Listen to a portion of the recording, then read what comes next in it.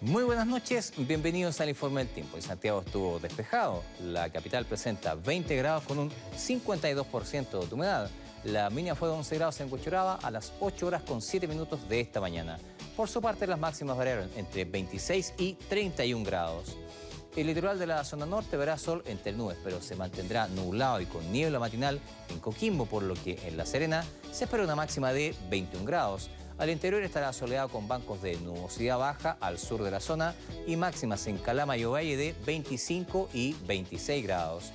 La costa central espera un día soleado, con temperaturas que en Valparaíso y Pichilemu ascenderán hasta 20 y 19 grados. En los valles estará completamente despejado. La mañana estará fresca con mínimas entre 12 y 10 grados, en tanto que las máximas se elevarán hasta 28 grados. En el sur estará soleado en prácticamente toda la zona, con ambiente algo caluroso en los valles de Ñuble y Biobío, pero templado desde Araucanía hasta los lagos, a la espera de 23 grados como máximo en Valdivia. Mañana Magallanes la lluvia se hace notar parcialmente en la región y se manifiesta en Punta Arenas, dejando al resto de la zona entre nubes y sol, con máximas en Coyhaique y Puerto Williams de 21 y 12 grados.